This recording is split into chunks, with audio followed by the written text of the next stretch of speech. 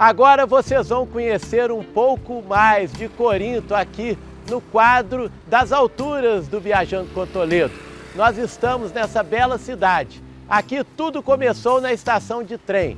Naquela época, Maria Fumaça trazia o desenvolvimento e também as pessoas para a formação do povoado que depois virou essa bela cidade. Você vai conhecer também esta igreja e fomos ainda a um ponto muito importante aqui da região. Duas pontes sobre o Rio das Velhas. Elas foram construídas em 1920, mas vieram da Europa, isso mesmo, da Inglaterra. Eram do século XIX e foram adaptadas para aquela região.